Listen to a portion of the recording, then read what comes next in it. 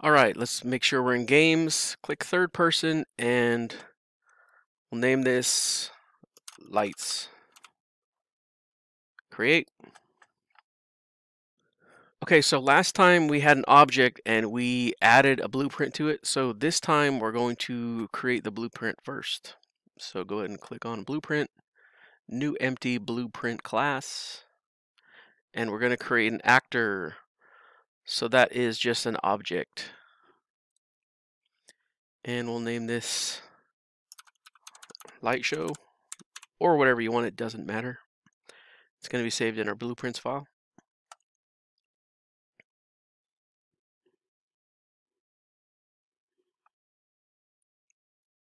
So here it is. Okay, so in our components, we're going to go ahead and add a cube. And what we're going to do is we're just going to make a little platform.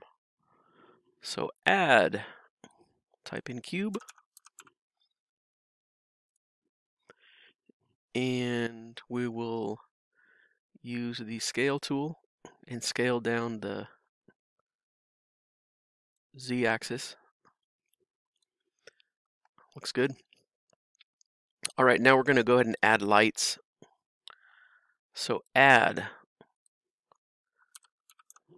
type in light, and we're going to use the point light.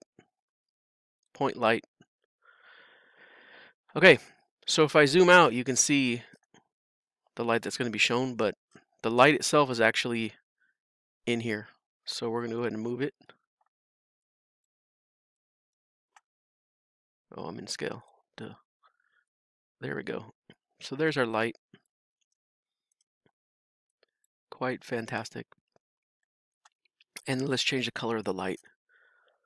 So in our light, in the details, light, select, and let's go blue. And then let's go and turn up the intensity so it's brighter. And it looks good. All right, so we have our cube. And then we have our point light is the child of the cube. And you can change its name if you want. It's up to you. But let's add another one. Add light. Point light. And this one's called point light 1. But check this out. It's in our point light. So it's a child of that. So let's go ahead and move that and drop it in the cube. So now they're separate. And then move this up and over and change the color. Brighten it up. All right, so now we have blue light, red light. And that looks pretty good. Next, we want to do is have them turn on and off. So let's first add a collider to our cube.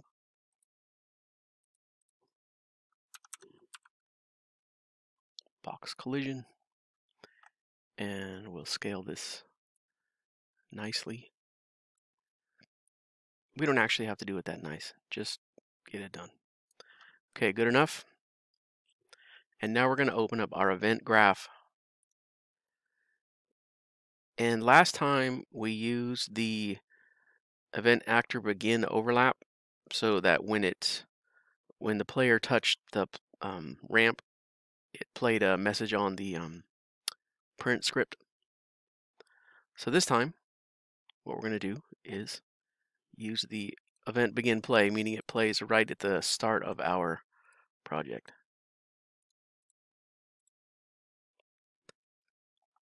So what we want to do is add a node from this one.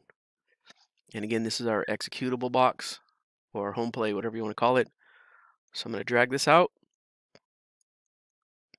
And then I'm going to add set visibility. So I'm going to type in visibility and I want to set the visibility to my point light. And remember I have two of them, so make sure you set it on the right one. So there is our visibility.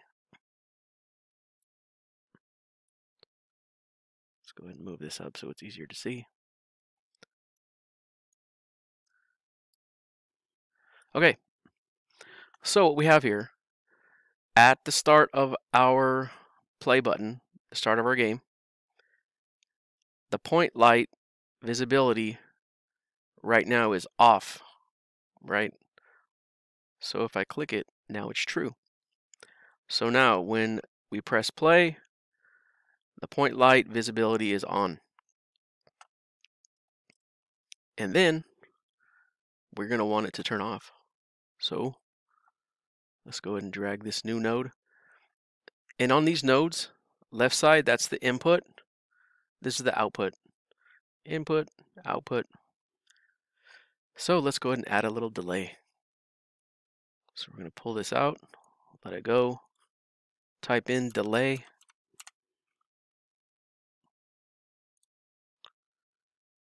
And I want to change this from 2.2 seconds to 1 second because 0.2 is kind of quick.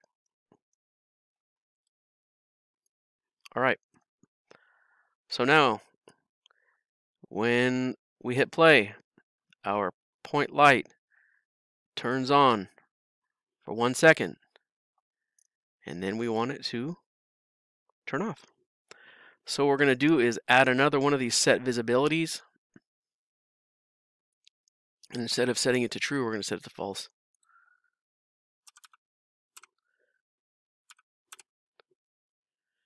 And again, make sure you've, you're using the same light that you used before.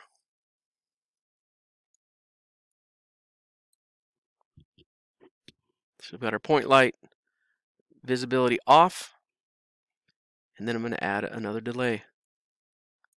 Let me just scoot these in a little bit more.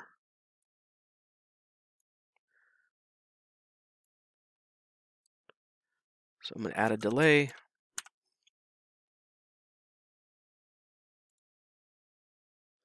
And I'm going to change this to one second. So now it's off.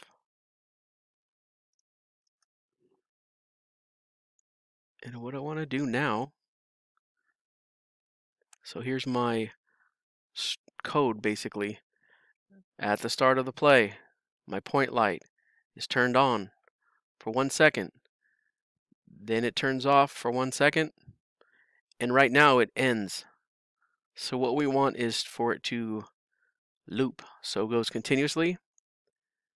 So to do that, I just grab this executable node and I bring it over here and drop it in the set visibility.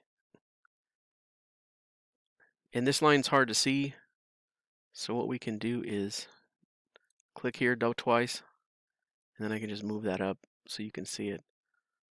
So again, start, light on, light off, it goes around and happens again. So let's check it out and see what's happening. Oh, okay, so we have this compile button with that question mark. That means it's not compiled. We have to compile it. But it also will compile when you press play, but let's just do it so it's we get in the habit of it. Compile, it's good. Press play. And nothing's happening. All that work for nothing. Not really. Okay, so stop the animation we forgot to put in the actual blueprint we just made. So there it is, light show. I'm going to drop it in, set it down. Now let's play it.